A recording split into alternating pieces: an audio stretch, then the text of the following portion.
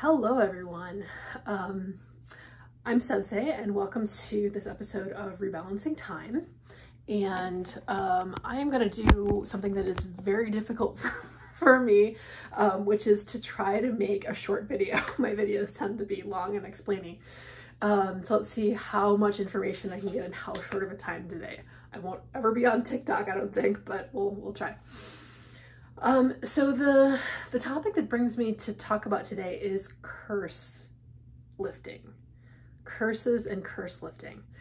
Um, the curse lifting is one of many shamanic skills um, in the shamanic tool belt. As I was um, working with someone this morning, I was explaining that um, the term shaman is an umbrella term. It is a very nebulous term.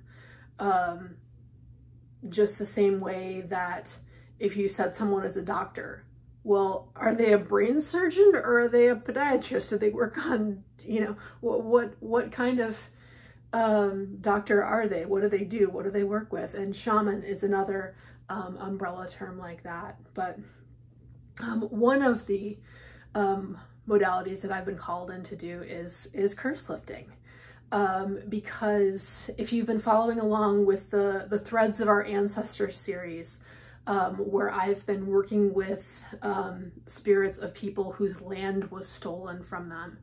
Um, we've got these principles of rem remember, they want their stories want to be remembered. Um, but on the spirit side, they need to be willing to let go and to lay to rest. They may or may not forgive, that's not a requirement, um, but they have to be willing to let it go and lay it to rest um, in order for um, the ancestral debt to be resolved.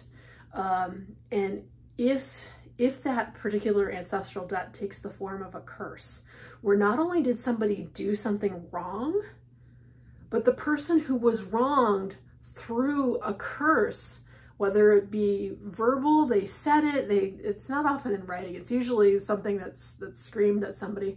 You, I curse you and all of your yada yadas to come. I mean, we've we've all heard stories like that. We've all, but you know, what does that actually mean? Well, um, curses once they are laid, especially if they were specifically, you know, a curse on your family, a curse on all of your descendants they will follow that family line. And I just worked with a person who um, experienced some incredible losses, including um, of a very young person in their generation um, who were impacted by this, this curse. Um, and the thing about curses is that um, Okay, I need, I need to back up here and, and talk about the way that I experience um, working with spirits in the afterlife. Um, so a lot of people talk about spirits crossing over um, when they when they die. They're moving from the land of the living where we all are right here if, if we have flesh and blood, if we still have meat suits that we're moving, um, to the land of the dead where the living cannot go. I have never been to the land of the dead. I've been to a portal where I can assist people to get there, but I can't actually go there and I can't actually see what's there uh, because I'm still living. That's not, that's not my place to be. So there's this kind of meet in between um, um, area, let's just call say, that um, if you've ever seen the show Stranger Things, um, it's, it's, it's like the upside down in Stranger Things. It's sort of a mirror image of our world, but it sort of gets distorted because and it's it's it's a really unhealthy not a place that is that sustains life um and they're still able because they're they've they're they've shed their earthly body they've become energy beings they can impact energy a lot more easily than they can impact, you know, pushing something and actually having physical contact with something. Um, but although I'm told that that's, that's possible sometimes. Um, but if someone lays a curse and they want this nasty business to follow that person's family no matter how long they, they live, um, guess what? They may not know this. I'm guessing that they didn't know this or they wouldn't have done it in the first place. But if you lay a curse, in, in my experience, you have to stay behind it to enforce it. So you're damning, damning somebody to all eternity, but you're damning yourself too in doing that. And so they're getting angrier and angrier at, that they're not able to escape this themselves. And they're, they're still tied up in this, um, in the fam as long as the family line continues. Um, so if you can imagine how many of these kinds of curses, because the, the, the land, the stolen land, the, the, there was a lot of cursing going on above people who, uh, who, who stole the land. Um, so we've got so much energetic gunk that is being laid at the feet of those who are living who probably have no family memory of the time back in 1884 when, you know, um, so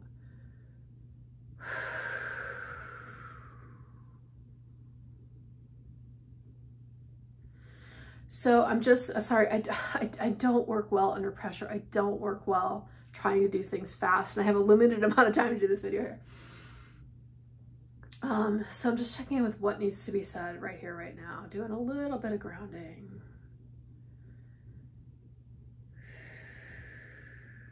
I also wanted to give a shout out. I'm wearing my um, Bush Hot Springs Phoenix Rising from the Ashes t-shirt today um, because I'm really hoping that we can do a lot of rising from the ashes, a lot of lifting those spirits.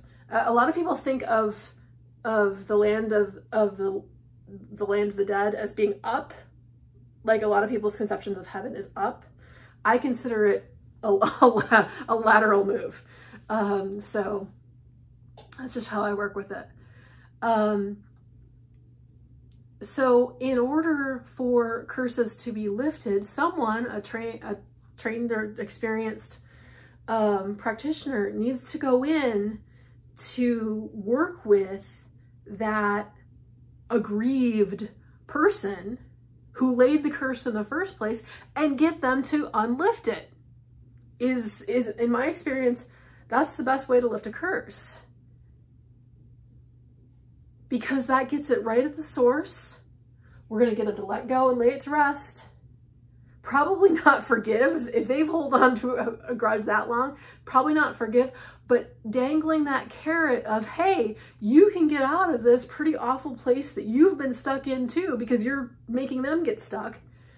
Um and crossover to the land of the dead where you belong and where you can reunite with the with source be in the wisdom of the oneness of all things again, not just the very limited view that we get um, from living on earth during this one particular lifetime, of which you may have many. Um, but we forget um, all of that before we incarnate, most of us. So I just want to give a shout out to everyone who is stepping up and doing this courageous work of digging into their own ancestral lines. And I am here to help. Um, I, if you are, if you are interested, I just ask you to please be patient with me because I really want to get um, my, my electronic format um, a little more finalized before I can give you my, my contact information that's kind of open to the public or open to everybody.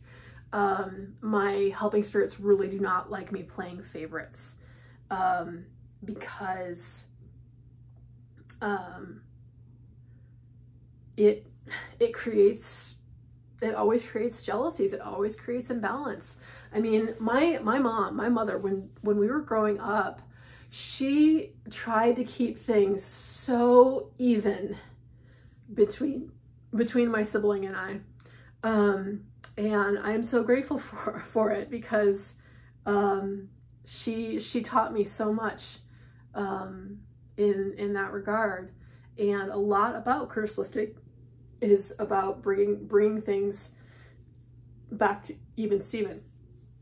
Excuse me. In how whatever form that that would take. Um, so I'm getting an image of feet feet walking here.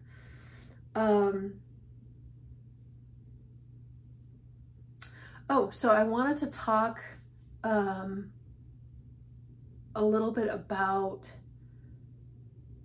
what does that even mean crossing over?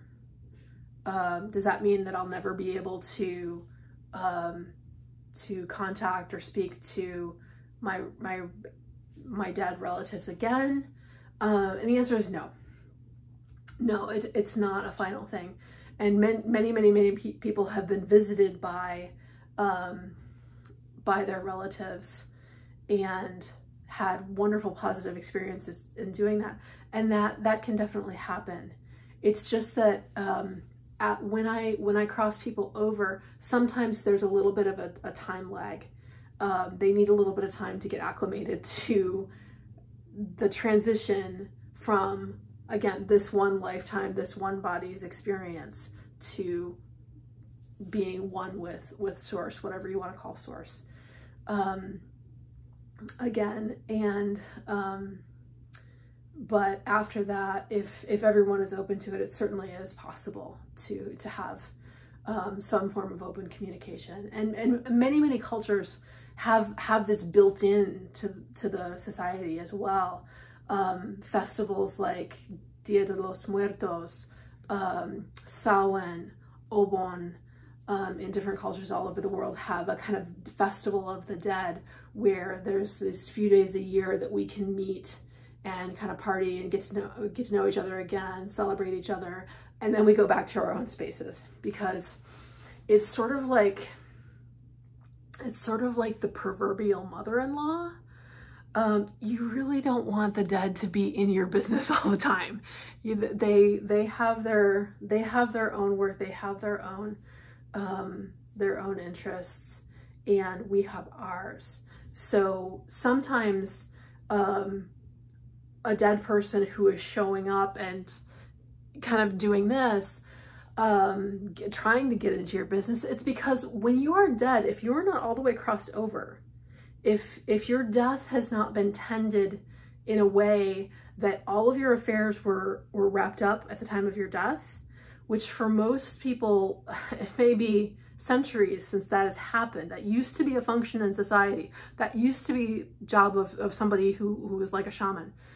Um, so that means that they are still in that in between, that, that upside down place. Um, that they still have business that they need to take care of, only they no longer have a body to do it. So they need to co-opt someone who's in the living to take care of their business for them. And so that's also why whenever possible, as I'm working, I'm not just working on your dead relative that you know that, that, that is having a problem. I'm looking how far back did that go? when did that first start? And is, is that really, did that really start with this generation? I'm guessing most times probably not. So I'm going back to the root, the source, so that I can resolve everybody who came between the original dispute, issue, atrocity, whatever it was, and now. And that that um, going forward with, with that lifted and, and it's described as being lighter, um, more possibilities. Um, I feel, feeling unstuck maybe.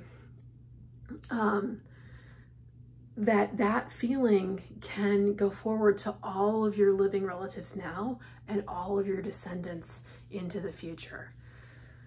So I know this is a, a really um, foreign topic that, you know, society, we, we don't usually talk about stuff like this. Um, and that's why, you know, I consider myself something like a spiritual septic tank, tech, septic tank technician. Um, that I'm here to clean out the backlog, the nasty, nasty backlog of whatever junk, whatever awful filth that humans have thrown at each other across the centuries and across the millennia. I'm saying, or do I? I'm saying bring it. Um, because I trust that my helping spirits bring bring me folks to work with in the right time, in the right order, that that I can take it on and I can handle it, and that I also have help along the way to to do that. Um, so.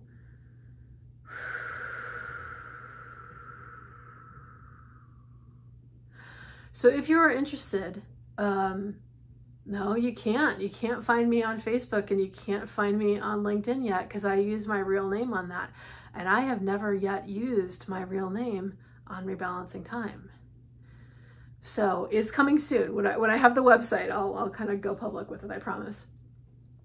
Um, so for right now, um, just suffice it to say, I am, I, I'm, it's, it's coming. I'm working on it. Um, technology is is not my forte, but I'm doing the best that I can. And I hold all of you in whatever situation that you find yourself in, whatever horrible, um, oh, see my timer's going off. Um, whatever, whatever atrocities were done, we can make it right together. I truly, truly believe that. And that's why today of all days, um, I'm doing my very first group ancestral healing session um, via Zoom. Um, it's coming up in a couple hours. I'm not going to be able to get this video out before I do it. Um, but at whatever time that you're watching this, if you can hold hold this in your heart for those who are stepping into the healing today, because time and space don't matter. Time and space do not matter. Um, so I thank you. I love you all. Uh, if you have questions, please put them in the comments. I'm, I'm more than happy to, to share more and uh, give me some ideas for a new video. All right, take care. Love you. Bye-bye.